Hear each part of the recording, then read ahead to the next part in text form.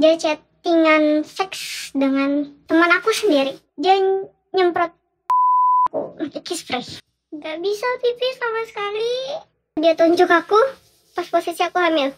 Hai semuanya, makasih udah ngeklik video ini. Jangan lupa di subscribe channelnya, dinyalain loncengnya, dan enjoy the video. Halo guys, welcome back to Grit Buka Praktek, tempat di mana kalian bisa mencurahkan isi hati kalian dan semoga dengan video yang kita buat kalian bisa mendapatkan insight yang baru, sesuatu yang baru dengan video kita. Nah, seperti sebelum-sebelumnya, aku selalu punya narsum yang pastinya bisa memberikan insight nih buat kalian. Hari ini uh, beberapa minggu-minggu terakhir ini uh, aku banyak banget sih narsum tentang toxic relationship. Cuman kali ini mbaknya mau cerita tentang bagaimana dia masih dalam uh, marriage toxic marriage ya kalau bisa bilang ya. Jadi uh, bukan pacaran lagi tapi sudah menikah dan saat ini masih mengalami toxic uh, marriage. Sebelumnya makasih ya udah mampir ke sini, udah kirim email juga Waktu itu nonton apa nih Mbak kalau boleh tahu? Akhirnya berani email.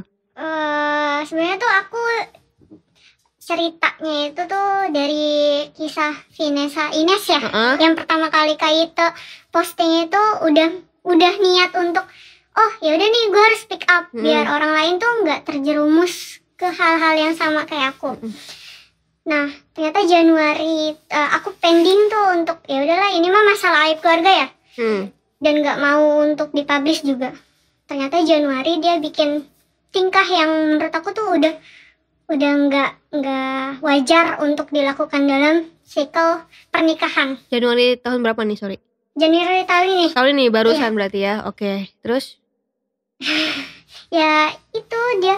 Dia chattingan seks dengan teman sendiri. Teman aku sendiri. Teman kamu sendiri? Iya. Sebenarnya dia yang mulai sih. Dia yang mulai untuk mem untuk membahas kayak gitu. Tapi kan dalam pernikahan nggak wajar dong seorang suami ngechat kayak gitu ke perempuan lain. Akhirnya aku memberanikan diri untuk email ke itu hmm. akhirnya memutuskan untuk gugat pisah. Hmm. Memutuskan untuk gugat pisah ternyata di pengadilan ditolak karena aku masih nyampur sampai awal Januari itu kejadian akhir Januari tahun ini jadi dari pengadilan itu minimal tiga bulan udah pisah ranjang Hah? gitu. Kalau mau cerai kayak gitu? Iya, kalau mau pisah kayak gitu. Gak bisa asal mau gugat kayak gitu gak bisa. Kita harus nunggu meyakinkan ada janin gak di dalam perut kita. Oh. Aku nunggu sampai bulan Maret, Februari. Huh? Februari terus aku nunggu nih kata pengadilan kan harus bulan Maret ya. Hmm ternyata Allah menakdirkan lain aku hamil hamil anak dia lagi berarti sekarang mbak lagi hamil nih ya, posisinya posisinya lagi hamil dan dia tidak mengakui itu oke nah kalau kita boleh tarik ke belakang nih kalau boleh tahu mbak sendiri sekarang udah umur berapa udah 22 tahun.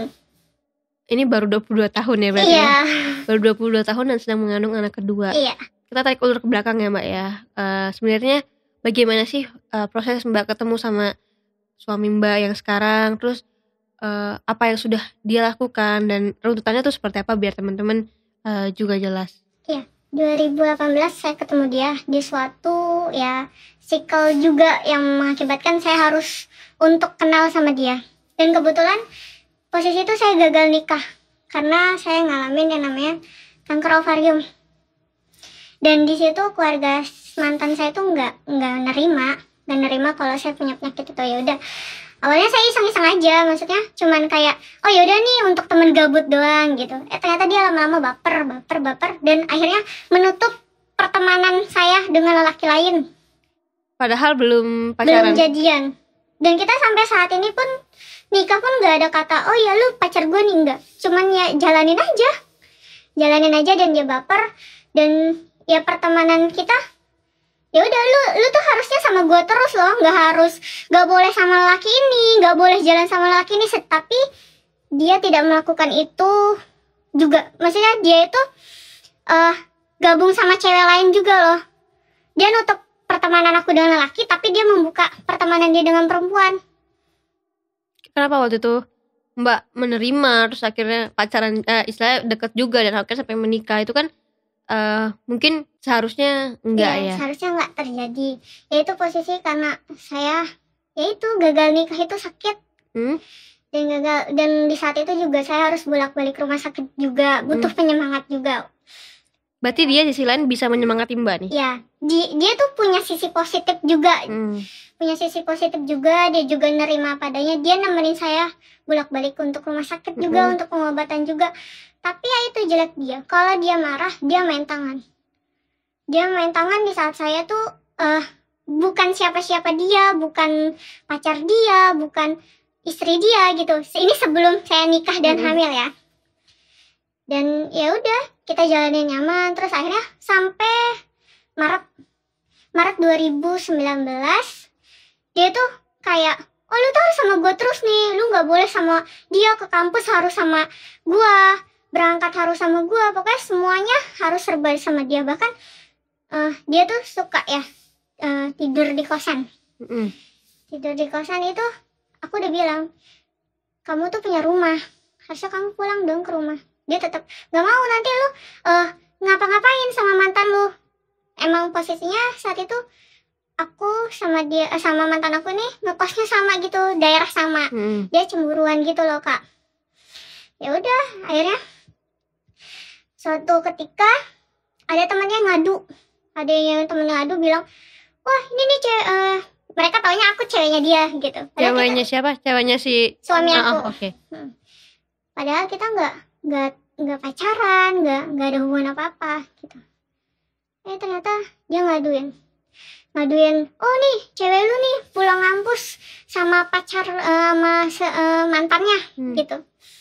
Dan posisi saat itu entah itu tonjokan entah itu gamparan dan di tempat umum dia melakukan itu. Tapi kamu benar sama mantan kamu? enggak enggak sama sekali aku tipikal gini loh kak. Kalau aku udah sama satu orang aku sama dia aja.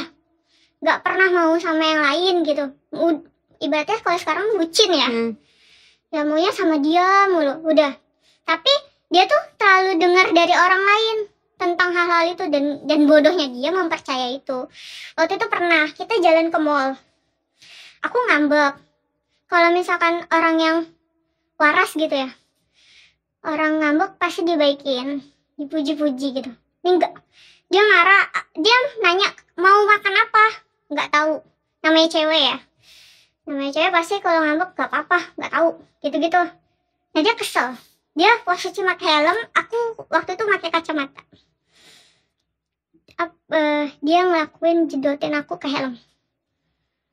Jedotin eh, kaca kaca dia itu kaca helmnya itu ditokin gitu dan dia luka di hidung.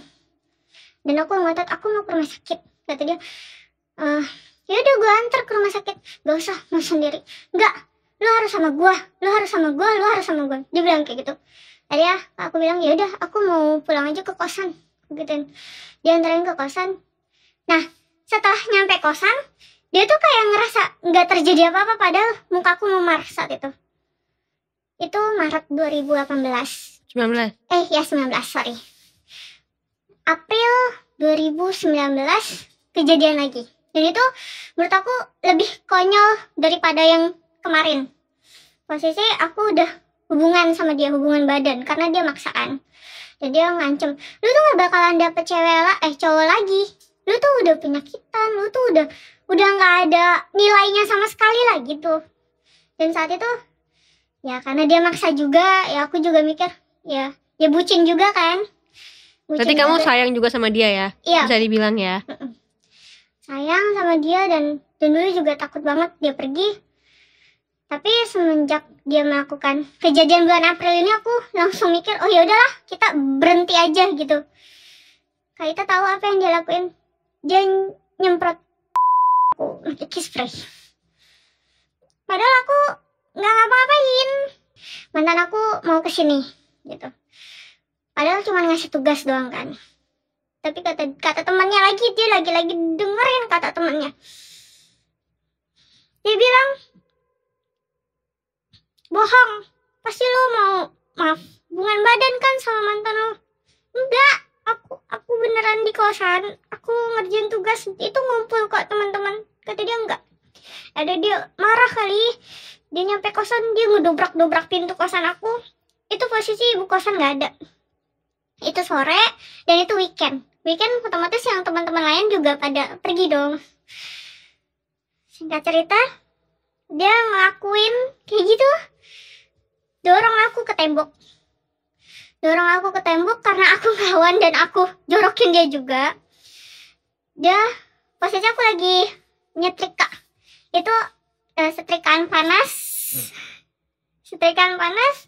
Mungkin kalau misalkan ada setrikaan panas nempel di wajah aku dia bakalan lebih gampang untuk masuk penjara. Karena aku tipikal ngelapor-lapor tapi selama ini sama dia ngelakuin kekerasan aku cuman kayak oh ya udah gue ngelapor nih lu ke polisi. Cuman verbal doang. Ternyata tindakan enggak. Dan itu dia ngambil spray.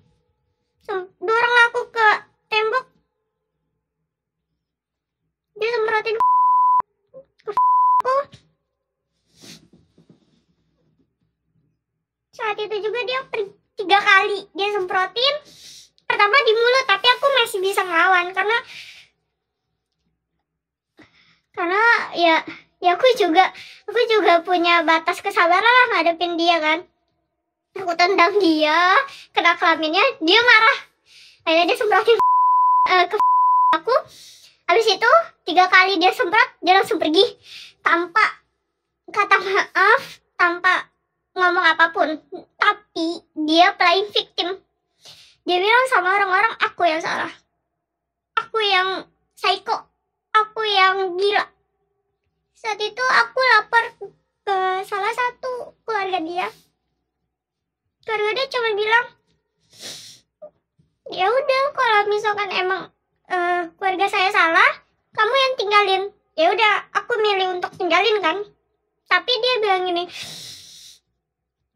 kalau lu ninggalin gua semua aib lu gue sebar ke orang tua semua video-video atau foto-foto yang menurut dia bisa jadiin senjata untuk nyerang aku dia share ke orang tua aku. Dan saat itu juga aku mikir oh ya udahlah. Ya mungkin ini kesalahan aku juga karena ngelawan dia dia emosi ya udah. Tapi ternyata aku eh pas 24 jam setelah kiss spray itu ada di aku nggak bisa pipis. Nggak bisa pipis sama sekali. Kebetulan aku juga pengobatan kan di salah satu rumah sakit di Jakarta Kamu posisi masih kanker ovarium berarti ya? masih Sorry kalau boleh tahu sampai sekarang masih. masih makanya ini hamil anak kedua ini banget banget butuh perjuangan juga sama kayak hamil anak pertama Tapi yang pertama kamu sudah berhasil ya, kamu survive. Padahal kamu padahal aku kanker mm-mm. waktu sorry waktu uh, divonis kanker ovarium eh ada kayak kamu nggak ada kayak vonis kamu nggak bisa punya anak. aku divonis gak bakalan punya anak dan mandul. Dan saat itu itu akibatnya aku tetap stay sama dia itu karena mikir oh iya gue ini gue ini punya kekurangan loh. Gue ini nggak bisa jadi perempuan seutuhnya loh. Aku punya pikiran kayak gitu makanya aku tetap stay sama dia sampai sampai aku dinyatakan hamil padahal dia udah toksik Berarti eh setelah itu setelah satu hari nggak bisa pipis, saya langsung ke rumah sakit. Dan yang sesuai saya kirim email itu Hmm. dipasang alat. Hmm, beberapa minggu nggak tahu beberapa minggu saya lupa apa beberapa bulan saya pakai kateter ke mana-mana dan di saat itu emang dia nemenin. Dia nemenin. Dari proses saya masuk sampai saya keluar rumah sakit dia nemenin. Dia pernah minta maaf nggak? selama dia melakukan kesalahan dia nggak pernah minta maaf. Sampai eh, kisahnya itu saya hamil terus dia selingkuh saya saya berani untuk melawan dia. Karena bagi saya itu bukan cuman saya yang disakitin tapi anak saya. Kayak kamu tahu hamil kapan? Juni 2019 Mm-mm.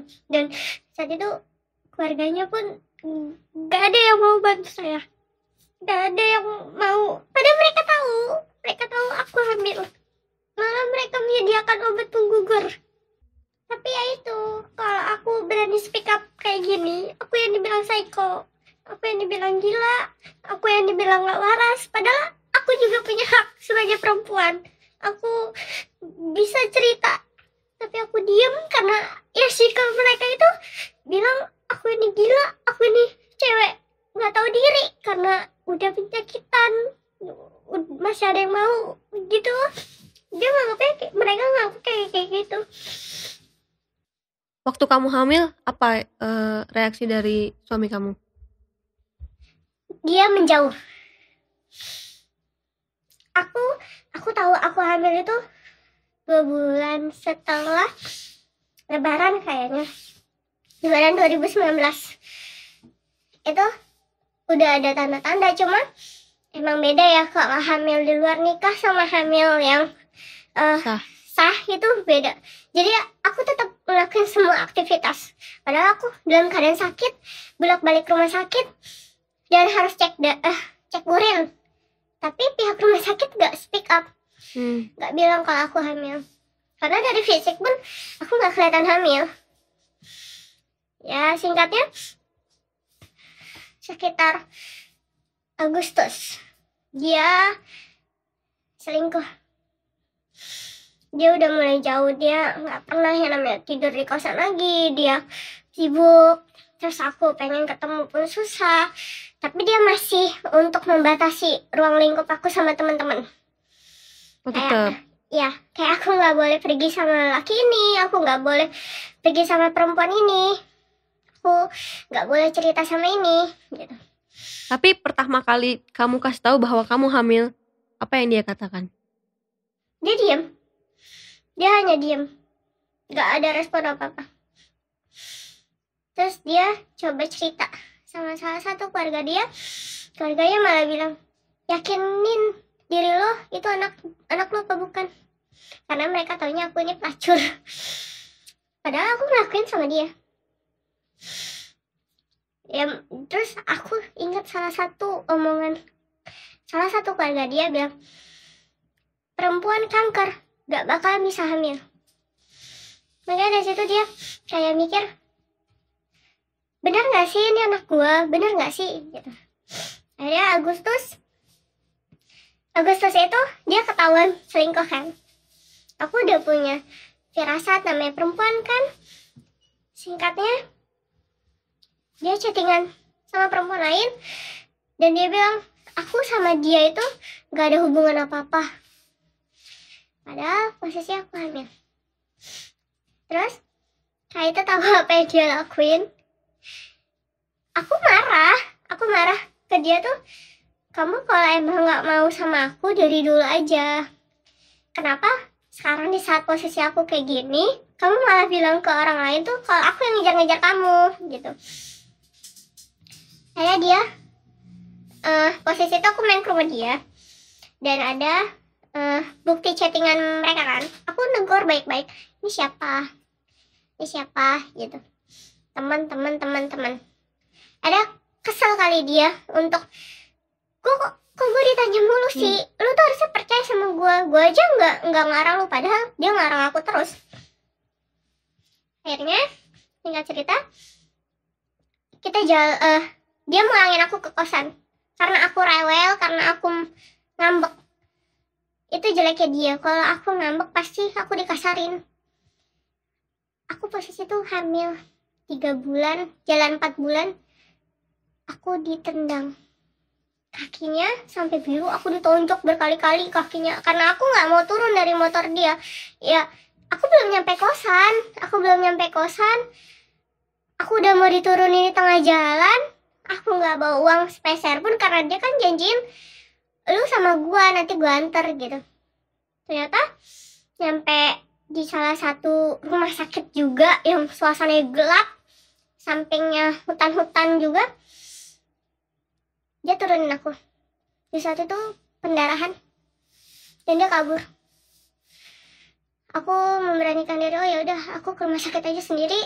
Kebetulan juga punya kartu bantuan kan BPJS nah ke uh, pihak rumah sakit tuh nanya mana yang antar? Jadi aku kasih kontaknya diblokirin semuanya. Dia bilang saya nggak kenal sama perempuan ini. Ada saya bilang sama temennya temennya nyamperin ke rumah baru dia datang tadi yang nggak mau datang tadi dia bilang gue itu gak ada hubungan apa apa sama lu. Terus aku gini ya emang gak ada hubungan apa apa cuma kan ini anak lu. Dari situ aku mikir oh ya udah berarti gue harus berani speak up untuk bilang ke keluarga kalau gue hamil. Oke. saat itu tanggal 3 September aku bilang pertama kali aku bilang itu nggak ke orang tua tapi perantara ke Apa? saudara. Saudara. saudaraku aku bilang terus saudaraku bilang dia mau tanggung jawab nggak? Enggak dia nggak mau tanggung jawab. Dia dikejar maksudnya diteror terus terus terus eh, kita ngadain kumpulan keluarga. Gimana nih caranya keluar bantuin gitu. Terus keluarga bilang ya udah kita samperin aja. Tapi emang aku masih kontekan juga kan sama dia di IG cuma ya itu bahasa verbalnya. Maaf kayak bahasa anjing lu babi lu emang lu perempuan gak tahu diri kayak gitu gitu kayaknya dia nggak mau tanggung jawab. Benar-benar nggak mau tanggung jawab. Sampai ayahku bilang kamu tuh harus nikahin anak saya karena anak saya tuh eh, hamil anak kamu. Terus kalau misalkan anak kamu perempuan gimana untuk berkas-berkasnya? Bilang kayak gitu. Tadinya maunya nikah siri. Tapi akhirnya dia mau nikah. mau dengan terpaksa. Dan itu ya Allah itu pas nikah pun dia hanya didampingin beberapa orang.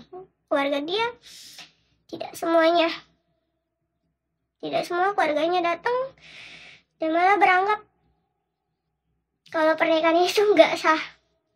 Pernikahan ini tuh cuma bau aib bawa aib. Terus pernikahan ini tuh hanya hanya untuk sementara doang. Tapi kenyataannya sampai detik ini aku gu- mau gugat dia pun dia nggak pernah mau.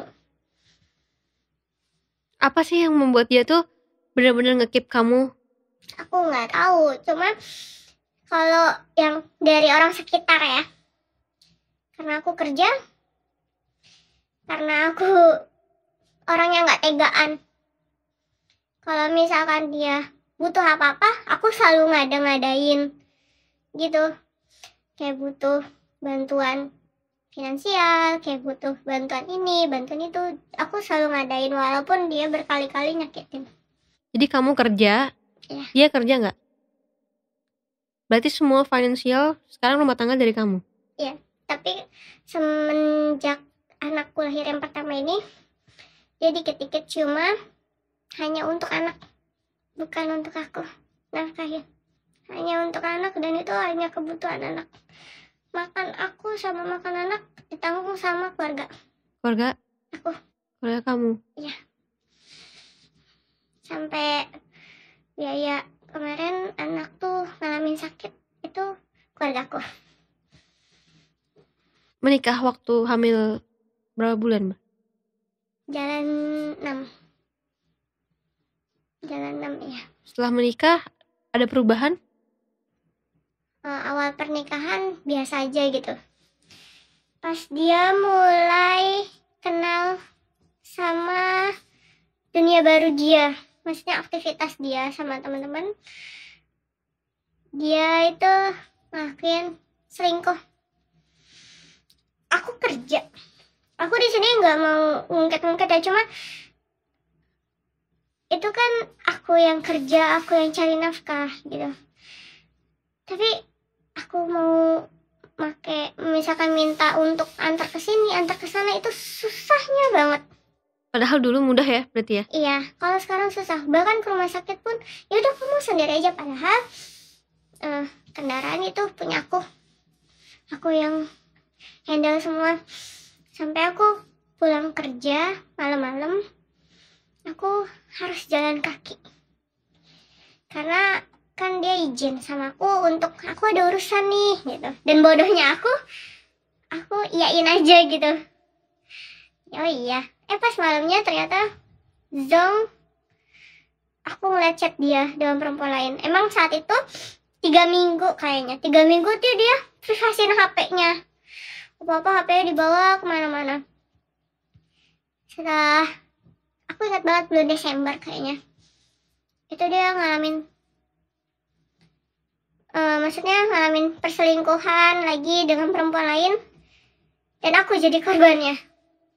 Saat itu aku cuman kayak nanya gua ini istri lo loh kok lu ngaku-ngaku single?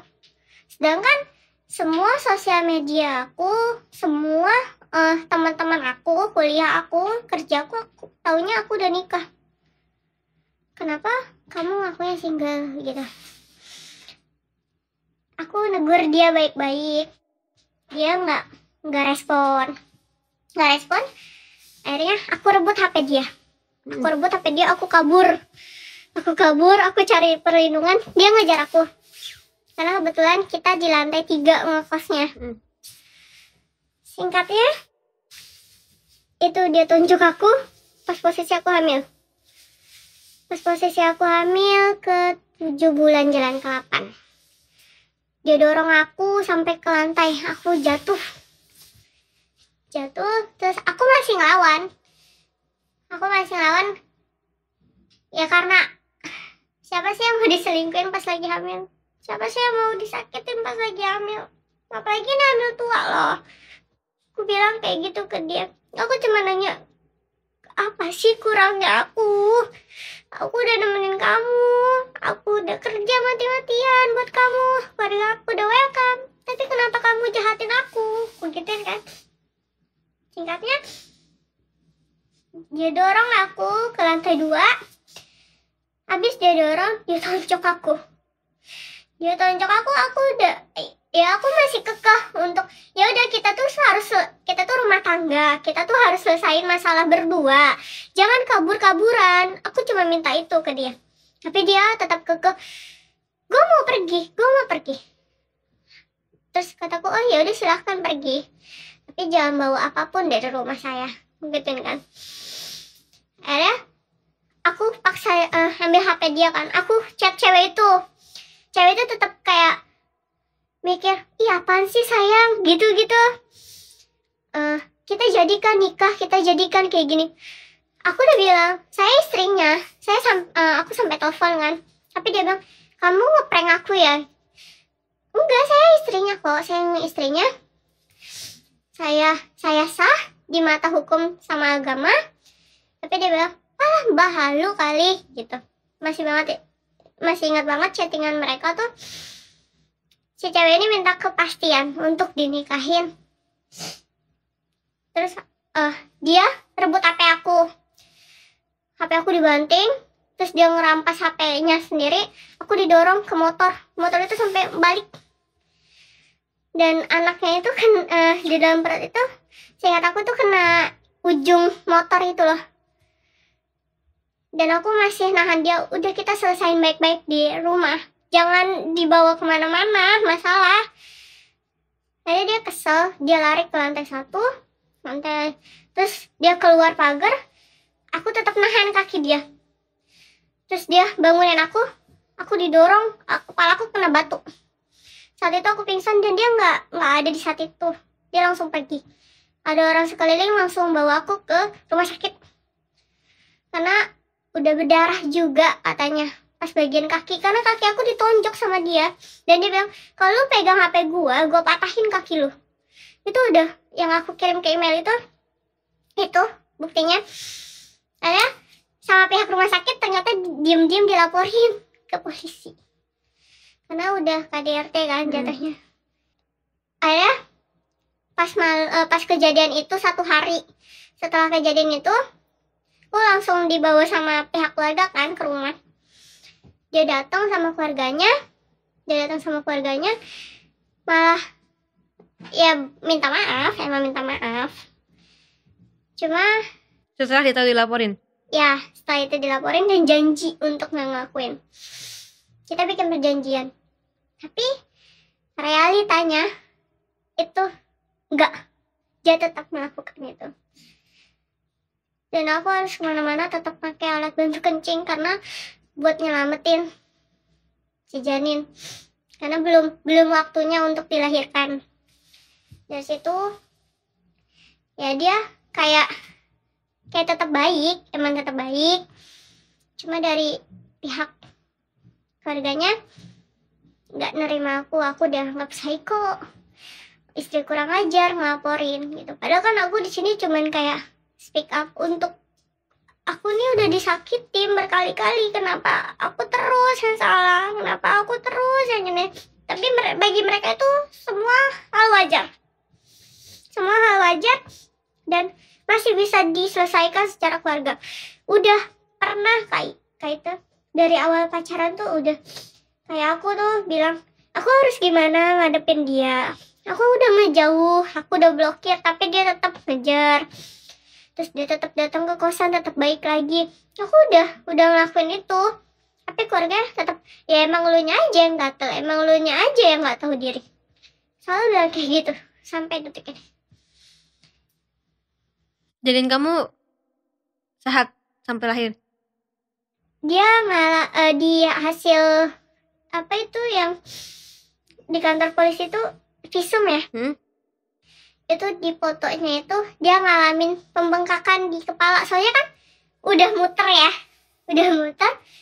Terpaksa didorong sama dia ke ujung motor itu. Dan emang perut aku biru. Saat itu perut aku biru. Dikasih dua pilihan sama dokter. Mau dilahirkan hari itu juga tapi dalam kondisi kita nggak bisa bilang dia selamat atau mau tahan dulu sampai janinnya bener-bener kuat dikasih obat penguat. Ya siapa sih yang mau kehilangan bayi ya? Apalagi sampai aku harus ngelewatin fase-fase sesulit ini aku milih yang nomor dua. Walaupun aku harus pakai kateter ke mana-mana selama aku hamil satu eh, nunggu si bayi itu lahir. Bayinya sehat. sampai sekarang sehat cuma ngalamin eh, paru-paru Tapi eh kalau misalkan dilaporin polisi pun sebenarnya bisa juga ya mbak ya. Kayak dilaporin terus eh, buat perjanjian nggak boleh deket-deket gitu sebenarnya bisa kan? Bisa, tapi waktu itu dia meyakinkan saya dan keluarga saya gak bakal terjadi ini. Dan eh, keluarga saya tuh mikir gini loh kak itu. Sejahat apa pun dia, dia tetap suami kamu. Dia tetap ayah dari anak kamu. Maafin dia. Sampai sampai ayah saya tuh nangis untuk bilang itu. Tapi di depan dia sih saya nggak terima ya. Anak saya diginiin sama kamu. Dari awal pacaran sampai kayak gini. Tapi di belakang dia ayah selalu bilang kak pikirin lagi. Dia itu suami kamu seburuk apa pun dia itu tetap suami kamu ayahnya anak kamu pilihan kamu kamu emang mau dia sampai masuk penjara? Saat itu aku pikir. Oh ya udah. Aku harus bertahan sama dia sampai aku harus ngelahirin anaknya nih di awal aku melahirkan pun itu hanya support mama sama ayah.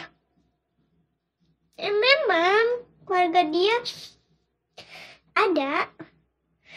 Cuma kayak kayak itu bayangin rumahku jauh dari mana-mana untuk rumah sakit pun lumayan jauh. Rumah dia tuh strategis lah.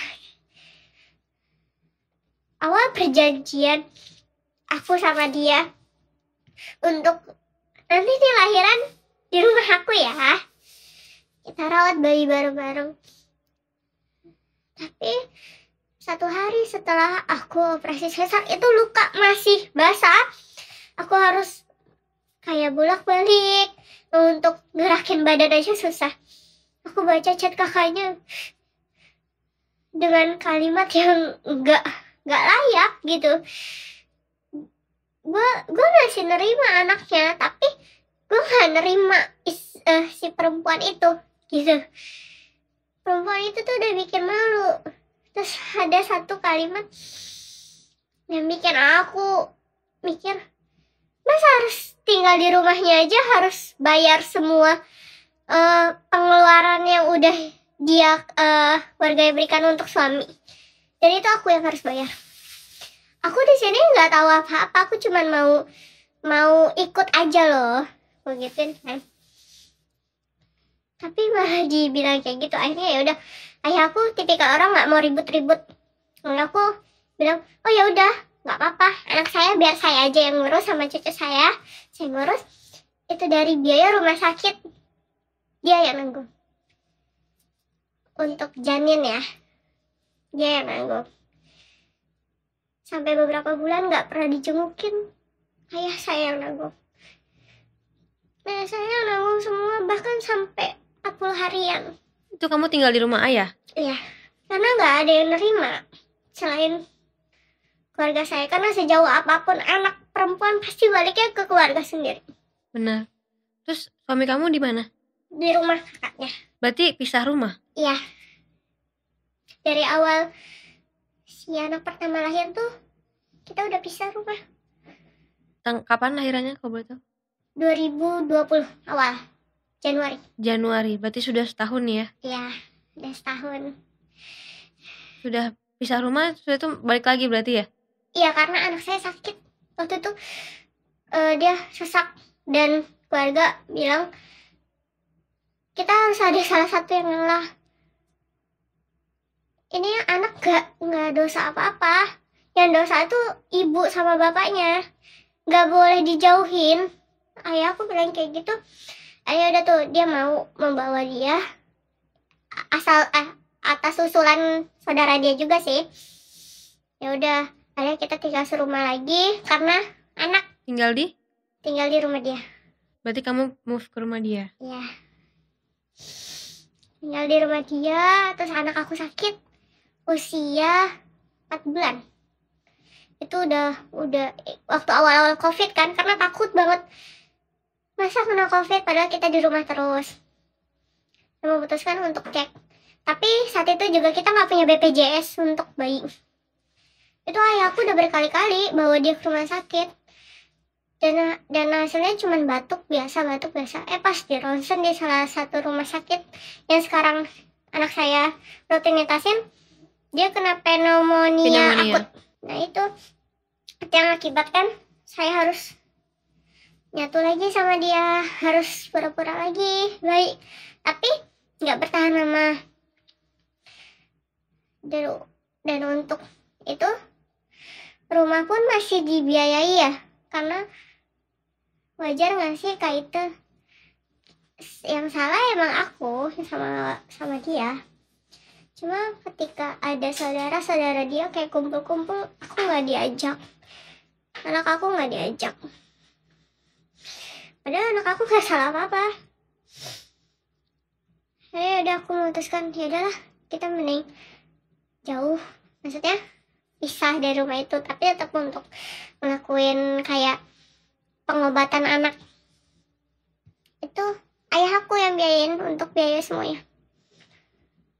Waktu pisah rumah, ma- suami kamu nggak ngejar-ngejar kayak dulu lagi? enggak karena kebetulan katanya rusak alat HP-nya dan kita nggak ada akses untuk kayak video call kayak gitu untuk lihat perkembangan anak nggak ada Nggak nggak ke rumah kamu juga? Padahal dulu sebelumnya kan Mm-mm. kayaknya heboh banget tuh ngejar-ngejarnya. Enggak. Padahal ada anaknya. Dan anaknya butuh kebutuhan pribadi lah ya. Semuanya ayah yang nanggung. Luar biasa ya ayah ya. Sampai kemarin dia ulang tahun. Karena ya mungkin cucu pertama ya. Disayang juga. Itu dibela-belain untuk oh ya udah nggak apa-apa nggak apa-apa semuanya dibeliin terus syukurnya itu Berarti kamu selama nggak tinggal satu rumah, akhirnya tinggal satu rumah lagi di kontrak ya berarti ya? Iya, Yang area sini juga kok Tangerang. oke. Nah setelah itu tetap kayak gitu juga? Iya, kita pernah jadi dia tuh kayak marah gitu loh kak aku larang untuk kumpul sama temen logikanya ngapain kumpul kita bisa menggunakan waktu untuk kerja kerja kan nggak harus kayak berkeliaran gitu misalkan lewat HP pun bisa kayak kita all shop atau apa. Dia nggak dia malah maksa untuk ngumpul sama teman-temannya terus aku kan orangnya emang aku tipikal orang ngungkit-ngungkit. Aku bilang dari awal kita rumah tangga semua kebutuhan tuh aku yang nanggung. Aku cuma nyuruh kamu di rumah doang jagain anak lagian juga kemarin-kemarin selama eh, awal-awal dia lahir pun kamu jarang jengukin. Si bayi usia 6 bulan jadi dia bawain kayak kursi besi gitu loh kak. Nah bayi aku tuh rewel. Udah mulai tengkurap kayak gitu kan. Itu dia entah kesel atau entah apa. Itu kursi itu dia lempar mau kena bayi kursinya dilempar mau kena bayi. Iya. Jadi dia marah. Kursi bersih gitu. Dia arahin ke itu ke anaknya. Dan untungnya aku lihat. Tapi dia ngakunya enggak kok enggak. Tapi eh kursinya tadinya berdiri masa tiduran? Bayi aku masih nangis dari saat itu emang dia emang dia sayang banget sama anaknya. Dia sayang banget apa apa buat anaknya buat anaknya. Itu bagus lah ya. Cuma kekerasan verbal masih saya alami. Sampai terakhir tadi kayaknya. Tadi hari ini pun masih. Tadi. Bener-bener ya Allah. Tadi di awal eh, kamu sempat mention bahwa kamu pengen gugat cerai iya. tapi nggak bisa karena kamu lagi hamil. Iya. eh sorry berarti itu eh, berarti kalian masih eh berhubungan Iya, Seks. karena eh dia tuh selalu jelasin kewajiban istri kayak gitu. Dia ada sisi positifnya. Setiap manusia pasti ada sisi positifnya kan. Ya, ya sebagai istri, oh ya, dia belum bilang, belum bilang pisah, Hmm. belum bilang pisah. Ya harus memenuhi semuanya kan. Persiapan baju ini tuh. Aku tetap lakuin walaupun hati aku dongkol walaupun hati aku kesel sama dia ngegerutu aku tetap lakuin. Sampai aku hamil lagi pun ya aku tetap ngelakuin hubungan kayak gitu sama dia. Ya ya istri sebagai istri. Jadi kamu melakukan itu karena kamu merasa kamu masih istri. masih istrinya dan harus memenuhi lah ya memenuhi apa yang suami inginkan. Berarti saat ini kamu sedang hamil iya. Terus katanya tadi nggak diakuin? Iya. Gak diakuin. Bilang apa dia bisa nggak ngakuin? Anak aku cuman yang pertama. Dia nyebut nama. Hmm. anak aku cuman itu. Terus aku bilang nggak bisa gitu. Anak kamu tetap dua. Anak kamu dalam perut juga. Nggak aku lebih sayang sama ini. Emang iya. Jadi aku terakhir tuh kayaknya dua minggu lalu. Aku habis check up. Terus posisi itu tuh eh dia marah karena aku larang. Padahal ya ya siapa sih yang mau nunggu gitu? Dia lebih mentingin untuk kawan-kawannya aku larang baik lah aku bilang tunggu dulu. Aku masih ini. Terus aku orangnya membahas mengungkit-ngungkit lagi. Ngungkit terus dia bilang dia nyebar di status ngehina keluargaku. Nah bapakku marah dong. Ayahku marah. Baca status dia. Tapi aku diblokir. Aku diblokir sama dia. Aku baru tahu paginya. Yang mengakibatkan aku nggak boleh pulang ke rumah orang tua itu sering kejadian. Dia tuh lebih mentingin apa apa temen apa apa temen dibandingkan anak istri. Sengaja untuk kayak aku keguguran. Semua eh, anak aku lagi aktif-aktifnya ya. Itu aku yang handle. Emang anak aku lagi ngalamin maunya sama aku terus. Jadi ya maksain juga sih aku untuk tetap ngurusin dia. Tapi dia ya sibuk sama urusan pribadi. Entah itu tidur entah itu ngapain. Aku untuk makan aja. Susah karena anak aku nggak mau dipegang sama siapa-siapa. Aku udah bilang sama dia. Tapi kata dia ya udah sih urusin aja gitu. Tapi anak kamu juga gak deket sama dia? deket.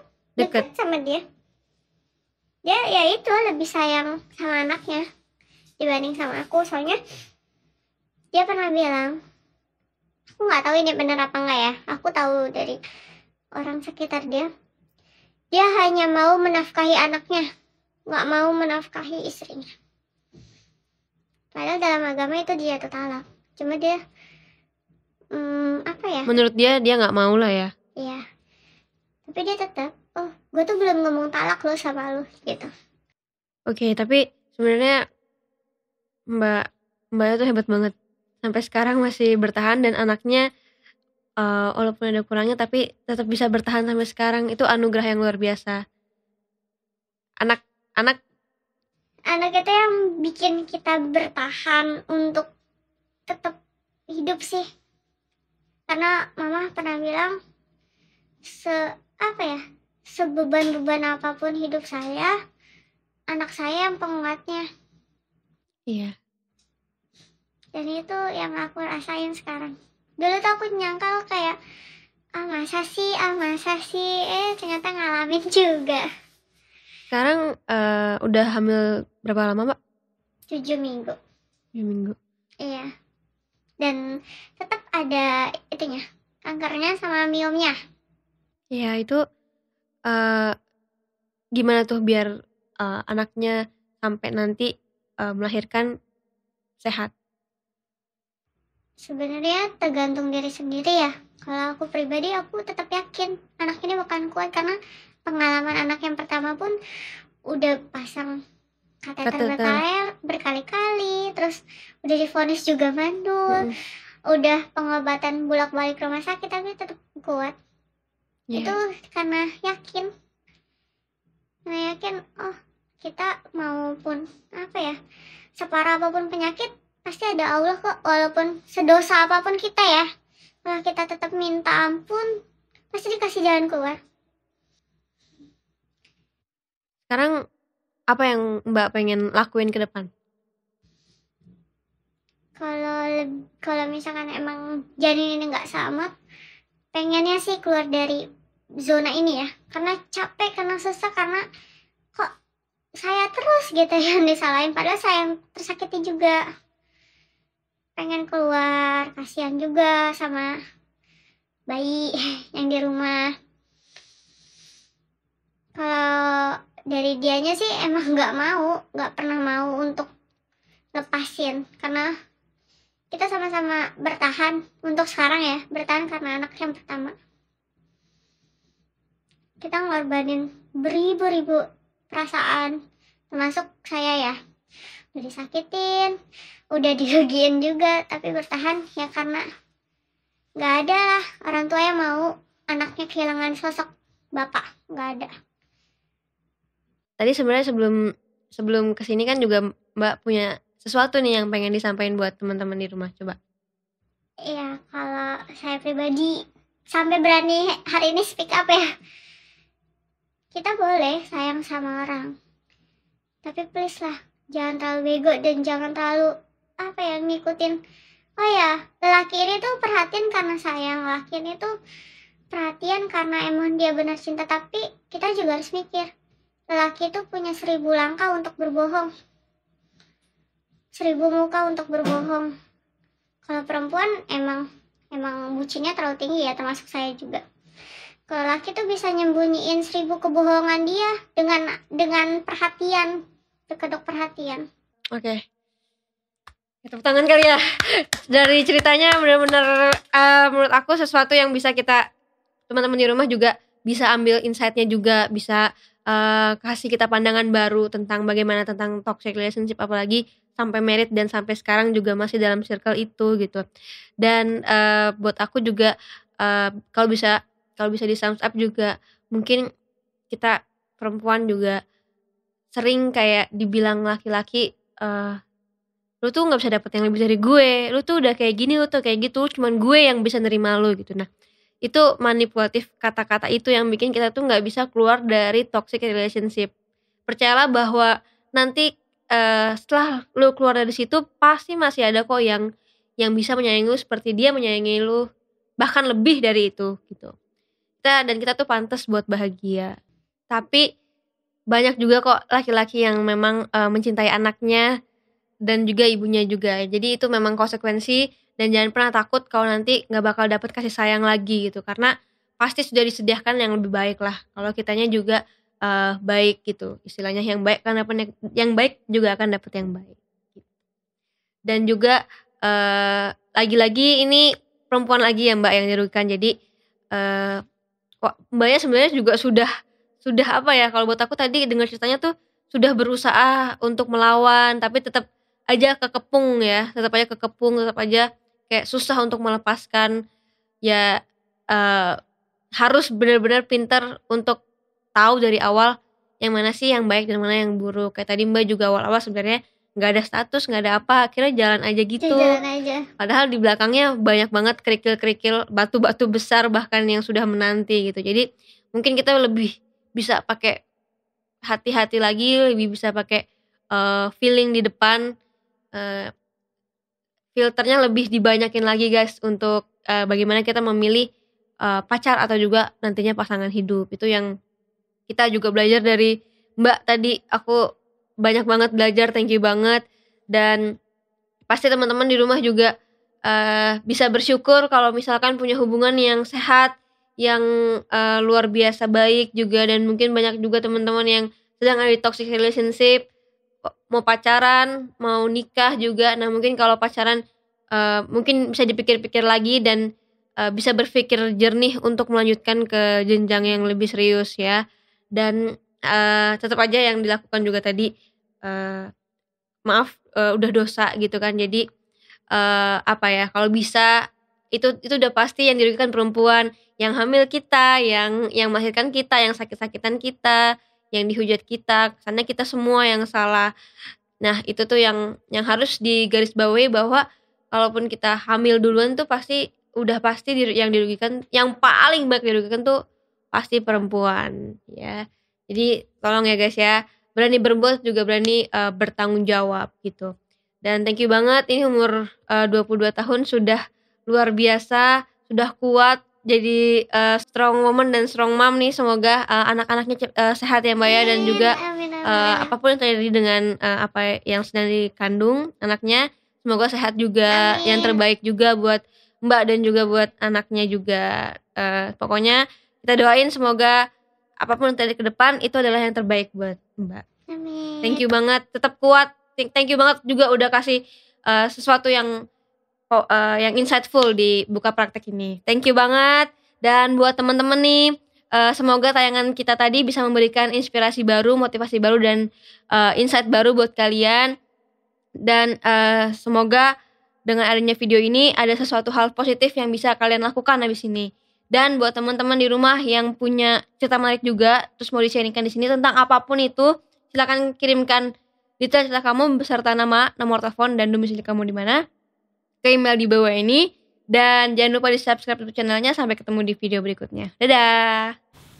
Cie, nonton sampai habis ya. Makasih ya. Jangan lupa follow Instagram aku di sini dan nonton video lainnya di sini.